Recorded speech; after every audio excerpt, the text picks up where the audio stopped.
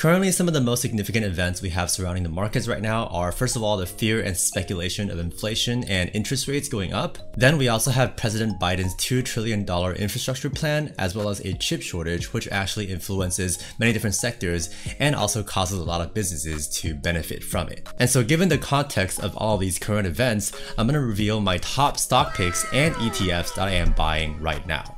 Right. Before we begin though, as the famous Graham Stephan loves to say, do me a very quick favor by extremely gently smashing the like button and obliterating it for the YouTube algorithm. And you can also consider subscribing to my channel as well for more cutting edge videos about hobby investing. And with that, let's get started with the video.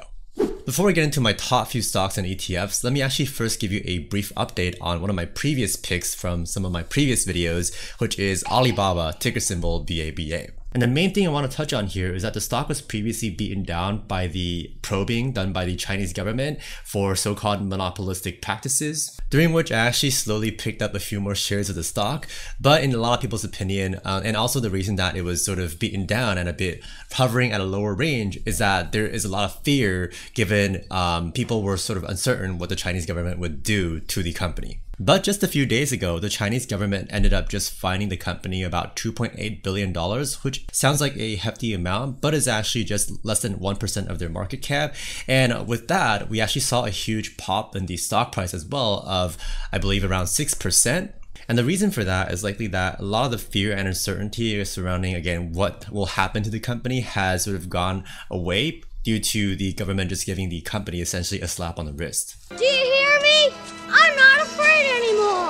And so even though the stock price has gone up quite a bit in the past few days, I'm still holding on to my position as I still believe that Alibaba is fairly undervalued. Not to mention because of what happened, um, there seems to be less risk and perhaps more peace of mind from owning the stock because it'll be more uh, less likely, excuse me, that the government will do some kind of really severe regulation uh, to the company. Of course! And the second thing I want to briefly recap, which I actually went into more extensively in my previous video, which you can still check out, is inflationary forces and the possibility of interest rates going up.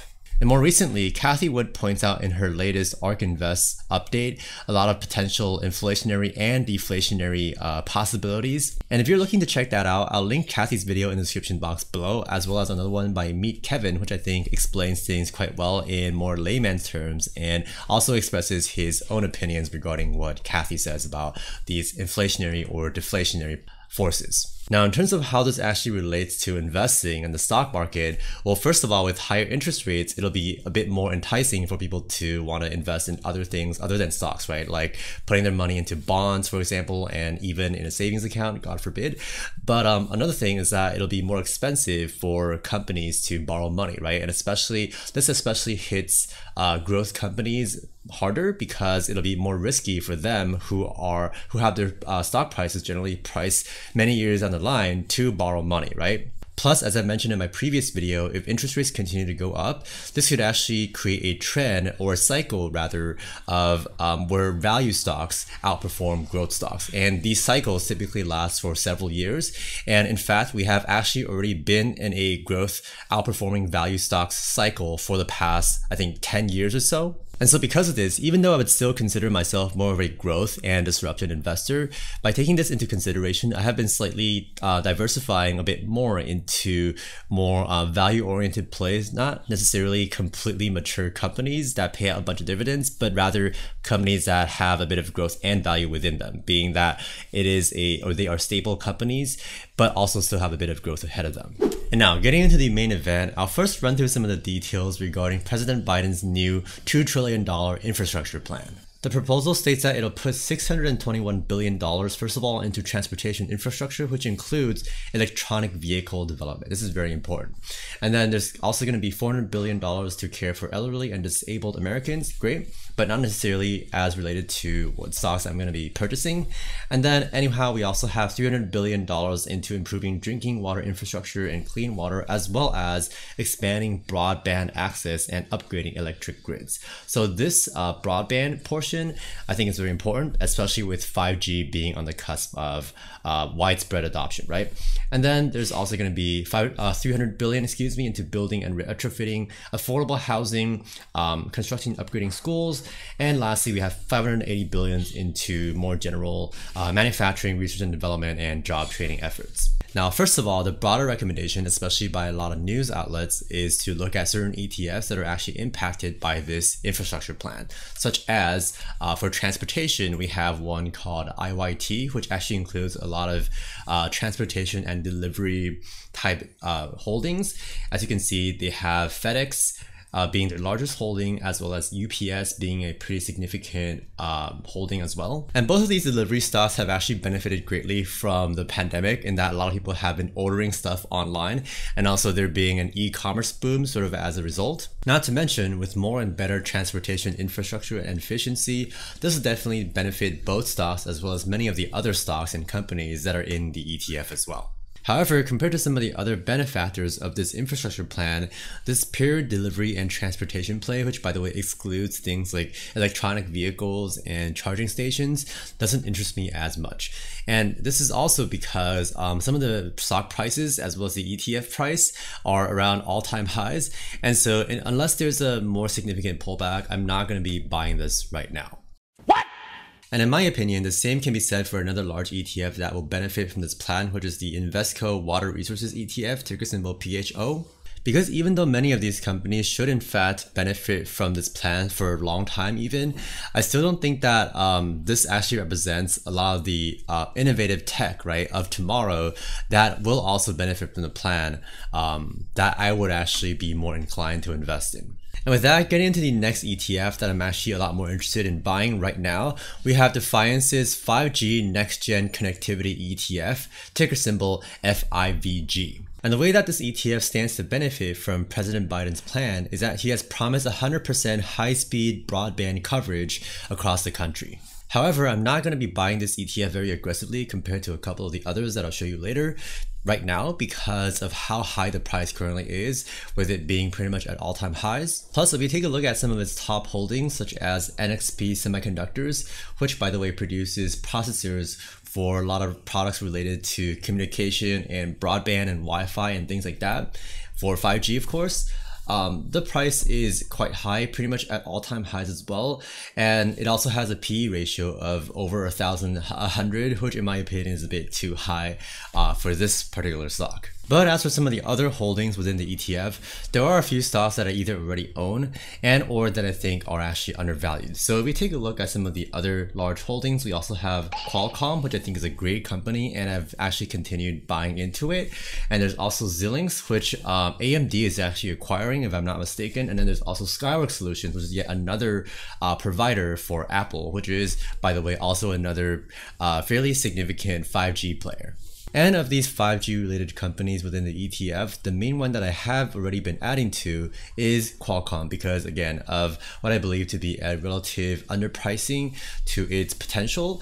Plus, um, it's not yet at its, um, it's a bit below its all-time high, not to mention its 4P is quite healthy as well in my opinion at around 17. And since my bullish thesis on Qualcomm has not really changed since the last video, nor has their stock price changed too much, although it has gone up a few dollars, you can still check out my previous video in which I cover it in a lot more depth, which I also link in the description box of this video. Next up, because President Biden's plan will also create a lot of infrastructure and develop clean energy, another ETF that I have on my radar is the iShares Global Clean Energy ETF, ticker symbol ICLN. This one, although I am going to be buying, but I'm not going to do so very aggressively as well due to if we look at its top holdings, we'll see that Plug Power is actually its number one holding by far at over 9.44%. And even though Plug Power stock price has seen quite a bit of a dip as of late, because it is a purely hydrogen fuel cell play, which is different from a EV and charging play, by the way, um, I believe that the technology is a bit too far out to sort of justify the market cap that it currently has at 19 plus billion. And this is the biggest reason why I'm not going to be purchasing ICLN that aggressively compared to another individual play that is also a holding within the ETF, being the second largest holding at 5.81%, Enphase Energy, ticker symbol ENPH. Enphase is, in my opinion, a great solar energy play, which is well known for one of their components that they make for solar panels that makes things a lot more efficient and is also very far ahead of their competitors. And if you take a quick look at its current stock price and statistics, I don't believe that it's too expensive, especially within the solar energy industry.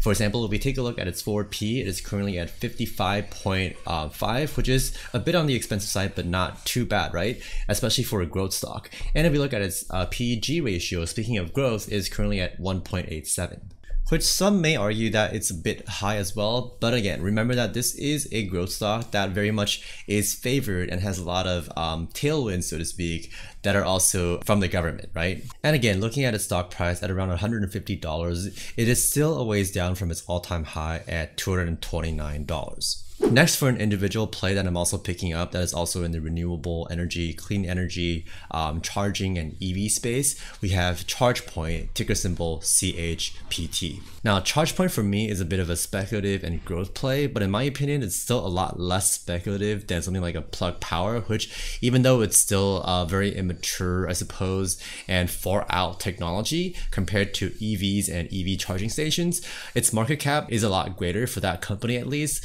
with Plug Power's market cap being at around 19 billion, while ChargePoint's, despite being the largest charging station provider in the world, being at uh, 7.5 billion. And with ChargePoint being the largest EV charging network in the world with over 65% market share, not to mention, in my opinion, the inevitability of electric vehicles taking over traditional um, gas powered vehicles, Plus, with the US government backing EVs and charging stations, including with the $2 trillion infrastructure plan, I believe that by investing in ChargePoint, this gives me a great way to get exposed within this um, industry. It's nice. And that's not even all I'm buying within the electronic vehicle space because I'm actually looking to purchase, on the dip at least, mighty Tesla Mayesa, which is trading a bit more expensive right now. But like I said, I'm definitely going to keep adding to this upon each dip that I can um, find. And also, I'm going to be buying more aggressively, even compared to most of the other plays that I mentioned in this video. And the main reason for this is that even though, you know, the stock has already risen in price tremendously and it's a very, perhaps one would argue, overhyped stock, and a lot of people are saying that it's way too expensive and has an incredibly high PE ratio, I strongly believe that Tesla as well as Elon Musk have already very firmly established themselves at the forefront of the EV space, which again is still in its infancy, right? So that in and of itself has a lot of space to grow. And not to mention by having this dominance, especially for example, with how Tesla has built out lot of the infrastructure for their business in terms of charging stations as well as collecting data for autonomous driving. There are tons of other business opportunities that Tesla will definitely be getting into that, in my opinion, has yet to really be priced in um, to the stock price. It's showtime. And in case you have yet to see or hear about this report, ARK Invest recently put out some price targets for Tesla, which again is also one of their largest holdings, where their um, bull case is at three thousand or uh, four thousand dollars, and even the bear case has a price target of fifteen hundred dollars by 2025. So those are the main plays I've been looking at that can also benefit greatly from President Biden's new $2 trillion infrastructure plan and also the general trends of the world um, for the future. And lastly, for the final part of this video, I want to just give you a friendly reminder that there is in fact a global chip shortage that is affecting many different industries from graphics cards to um, electric vehicles as well. And one of the companies primed to benefit the most from this increased demand, in my opinion, is Taiwan Semiconductor, which actually creates parts or semiconductors for huge customers like Apple, Qualcomm, uh, Nvidia, and AMD. Now, according to them, TSMC's foundries are currently already operating at 100% capacity to try to meet demand, although there is more demand, right? And so to address that, they're actually also going to invest $100 billion over the next three years to expand upon that production capacity. And so despite already being an established, stable, dividend-paying company, there's still yet a ton of growth ahead of them given this increased demand. Plus, even though TSMC is a foreign company, it still has quite a bit of support from the US, being that not only are a lot of its customers in the US, but also they're actually um, they actually got the okay to build a 12 billion dollar foundry right in Arizona, which actually is starting construction this year. Now I'll definitely do a deeper dive on this company later on, so stay tuned for that video. But first, let me take a quick look at its stock price and statistics is currently trading at around $121, which is down from its all-time high of $142. It pays out a, a dividend of 1.45%, which I think is a nice bonus.